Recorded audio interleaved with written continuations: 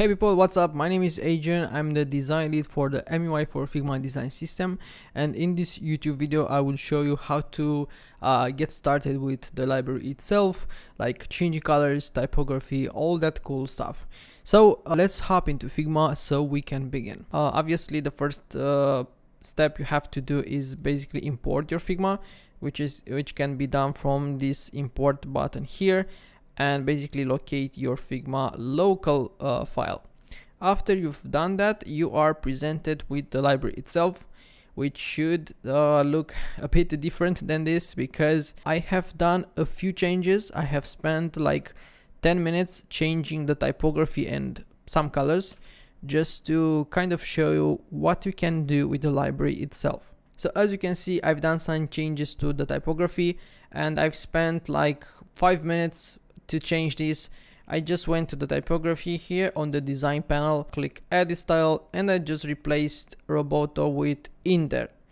And when you do that, when you are changing a, a style, uh, a token, it kind of uh, lags a bit until it applies all these new styles for all the components which are quite a large number. You can even go uh, a bit deeper and also change the typography for the for the components as well, like the alert title. We have I've done some changes to the button style, like we can go to the library to the artboard here and you can see that I've done some minor changes to to the font style which they look really sharp in my honest opinion. So now that we know how to make changes to the typography, uh, I think we can move uh, forward with uh, the colors basically. To replace color is as simple as changing the typography.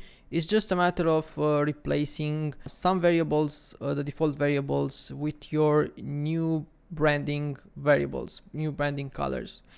So as you can see, we have two main groups. We have a light and a dark group which uh, obviously they stand for light theme and dark theme.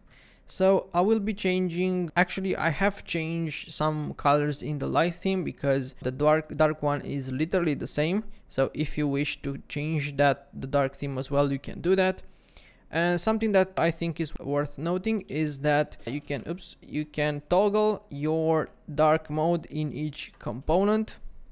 So let's select one of the buttons and you can see you have a dark mode toggle which can be enabled and disabled. To change a color you simply have to select which color you want to, to change. So let's go and change the text.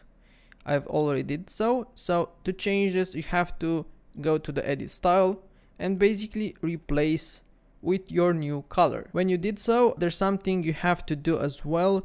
You need to go to the primary shades and you also, let's just copy the primary text here and just replace your new color here in the shades which shades are used for states. So states like hover selected focused and we have a 30% ripple which kind of simulates the the ripple effect for a focus to change. Any other color you just have to ungroup the one you want and obviously you can you can change all these colors freely as you like. What i recommend is when you're changing your main color you can obviously uh, you know oops you can obviously change the dark one by hand by going down by going with the light by going a bit you know selecting manually.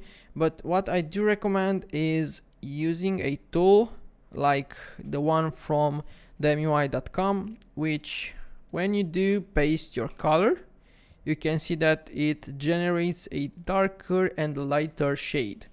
And why I recommend this is because these colors are um, double A level of have a double A level of contrast ratio which is kind of mandatory for uh, all kinds of websites. So let's grab the colors that the app generates. So as you can see, I've done so. I've already used these exact colors the app generates because I trust it. And to generate your shades, again, simply copy your main color. Let's go to shades and just replace it with the default one. As you can see, I've already done so. Because if I was to be changing this live on, on camera, it would kind of takes a few seconds to, to apply to all these new states, all these new, com new components and so on.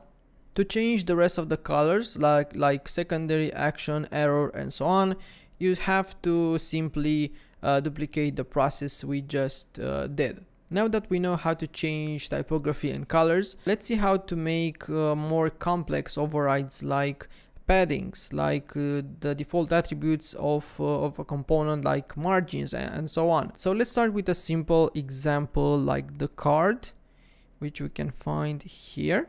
So let's say our goal for a card is to look more spacious. So we want to, to change the paddings, the default paddings of the component from something like, uh, I think there's 16 pixels, from 16 pixels to a greater number like 24. So all you have to do is select the components you want to change the default paddings. Make sure you have selected uh, the light one and also the dark ones and just change the paddings from 16 to 24. You can see that the changes are already happening here. Let's change the card actions as well because I want to have uh, kind of consistent paddings and consistent values. Let's go from 8 to 16 okay. And the card content 24 so something that we do here internally it's not a perfect solution but it's something. What we do uh, is just have a alert component which we place right next to the component we change and we simply uh, toggle something like title and we simply uh, bullet point each uh, edits have been done to that component.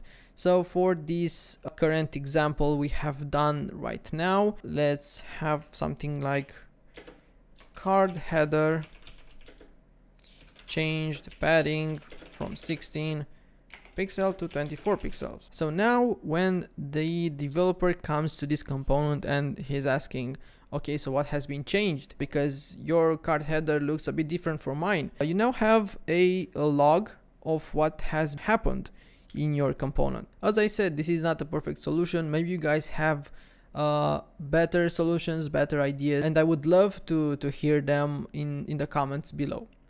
I hope this was helpful. I hope uh, you've learned something new today with this getting started guide. I'm Adrian and I'm signing out. Bye.